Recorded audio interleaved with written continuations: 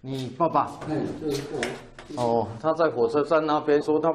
迷路了，不知道怎么回来啦。警方执行勤务，顺利把迷路老翁带回家。邻居在门口撞见，脸色却突然变得很难看，小声的跟警察说：“关的车在地啊呢，哎，啊哪个做进来？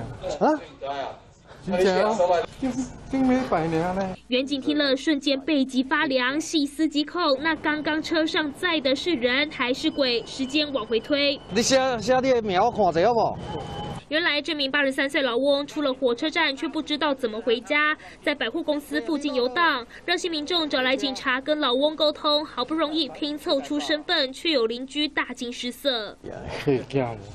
对呀，我在等来。事后询问才知道，台中北区这间大楼上礼拜有住户往生，附近邻居也没有追问，以为就是迷路老翁，闹出死而复生的大乌龙，把警方吓出一身冷汗。记者林世熙、李云杰，台中报道。我是李玉璇，主播工作对我来说是一秒都不能松懈的战场，将撼动社会大众关心的议题清楚传达出来，更要求自己先是一名认真的记者，才是对观众负责的主播。更多新闻请锁定中视 YouTube 频道，记得按赞、订阅、分享，并开启小铃铛哦。这主播可以看见，远景对跪在地上的男子大声呵斥，要求他乖乖配合，并将男子压制在地。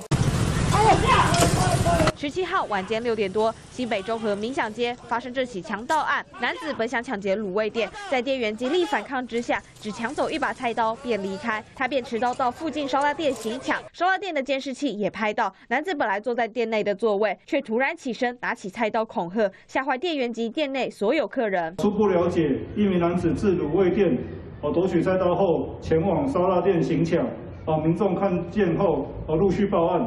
啊！警方立即到达现场，将该男子逮捕。据了解，男子疑似喝醉酒，加上他肚子饿，才会在烧腊店行抢。警方将男子依现行犯逮捕，并查扣菜刀一把，讯后依加重强盗罪移送新北地检署侦办。以上最新主播。我是王一中，新闻的产业带给我满满的使命感，不论是贴近民生的议题，或是国际的话题，我都能够精确、真实传达最完整的资讯给各位观众。当然，更多的新闻请锁定中视 YouTube 频道，记得按赞、订阅、分享，并开启小铃铛哦。你应该知道我们为什么找你吧？啊，不。好，没关系。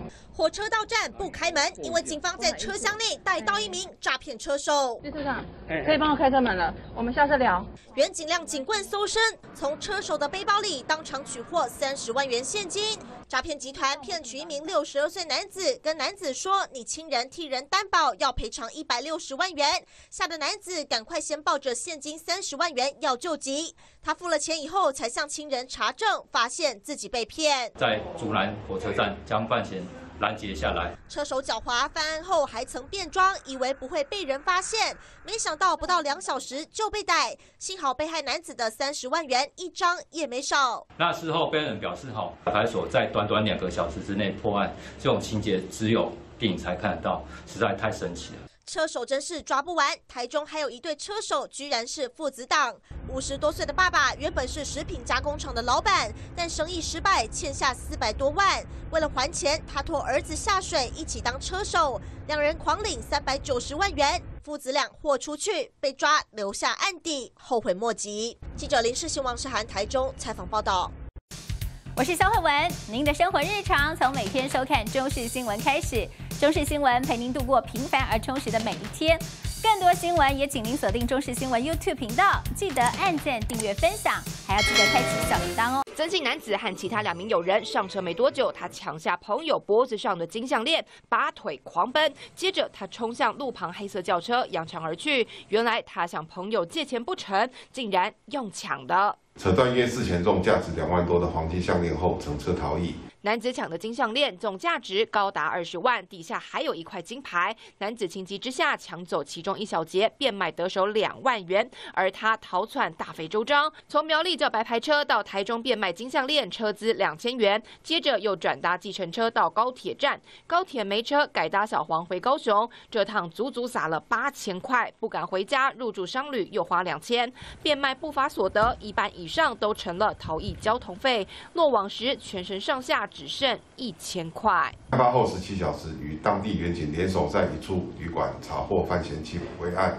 案发隔天一早就在旅馆落网，警方调查这名曾姓男子没有工作，到苗栗找朋友借钱，逃逸过程又搭计程车，又住旅馆，最后狼狈落网。借钱不成用抢的，最后连朋友也做不成。记者彭志明、韩正新、吴鹏兴苗栗报道。我是刘佳，我喜欢与您分享地球大小事、最新时事、国际脉动、财经动态，还有气象资讯。最接地气的新闻台，让你重要消息不漏接，聊天的话题也不脱钩。当然，更多新闻请锁定中视的 YouTube 频道，记得按赞、订阅、分享，还要开启小铃铛哦。